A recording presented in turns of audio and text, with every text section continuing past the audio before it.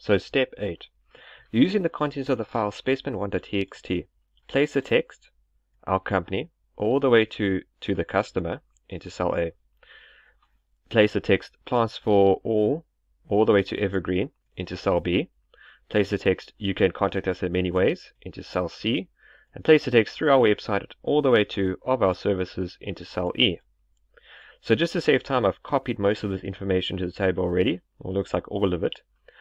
But just to show you how to do it, I'm just going to remove the information from cell A. So what would happen is they would supply us with a file. So in this case, specimen1.txt. And when they say place the text, they, they just want us to copy it from this file and put it into FrontPage. So in your exam, you would have your list of files in your folder. What you're going to do is going to find this file, so specimen1.txt. Here it is here for me. I'm going to double click on it.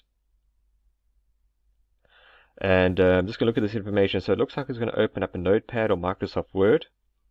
So let's do the first bullet. Place the text our company to to the customer into cell A. So all I'm going to do is I'm going to highlight that sentence. I'm going to copy it. So I'm going to right click, copy. I'm going to go to FrontPage. So just keep in mind from our previous question, cell A is row, or the first row of our table. So I'm just going to right click and paste. And it'll put the text in there for me. But if you look at your table and you can see that text is not coming out quite alright. So for example, in this cell over here, we want the text to be underneath each other. We want acid, then alkaline, neutral. So that's all fine. Uh, you can contact in many ways. That is that is fine as well.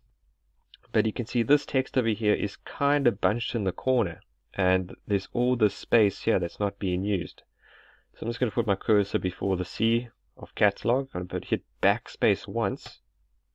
And you can see it's going to, the text will move up to take up the space on the right that was supposed to be used. Okay, so let's have a look at the next question, part 9 or step 9. Set the text, our company, to the customer as style H2. Alright, so that text is this text in cell A. We want to make this style H2. So to do this, what I'm going to do, you highlight this text, you go down to code, and what we'll have to do now is, it's not like before we would have the tags already made for us, like style P. You can see in this case, there are no tags before our text or after it, so we'd have to make the tags ourselves. So we have to make the tag H2. So what I'm going to do is I'm going to put crocodile symbol, H2, crocodile symbol. And you'll see that this tag over here is automatically made. And I'm just going to move this to the end of our text. So that everything between these two H2 tags should now become H2. So if I click on design, you can see that it's changed. So let's do the next one. Plants for all soil types must be as style P. So plants for all soil types, I'm going to highlight it, go down to code, I'm going to make style P, so crocodile symbol, P crocodile symbol, and then move the automatically made tag to the end. So the tag with the slash should always be the one that we move. Alright, so we go back to design. You can see that plants for all soil types basically looks the same because all of these um, sentences, uh, the text that we've copied will be in style P probably automatically all the time. It's the paragraph style, it's the default style. Okay, acid. Acid must be LI. LI means a list. So this should come out as a bullet. So acid, going to highlight, code, and crocodile symbol, li, crocodile symbol, and I'm just going to move the end tag to the end. So now acid should be a list. If I go back to design, and you can see it is, it comes out as a bullet. So alkaline, neutral, both of these have to be Li. The problem is you can't make them both Li. You have to do them individually. So you can't do it all at once. But what you can do is go crocodile symbol li, crocodile symbol, move the end tag to the end, and I'll just do neutral here as well. So you don't have to keep on going between design and code. if you are confident you know what to do. And, you, and uh, as long as at the end you check that it works. So if I go to design now, you can see both of these have bullets. So that's coming out alright. Um, and of all types of plants, I don't know if we have this text as style P. Let's just have a look. And we got for all environments. So that's a little bit different. But I'll do this anyway. Let's just pretend that's this text. So style P. So again, crocodile symbol, P crocodile symbol. I'm going to drag it to the end after the colon.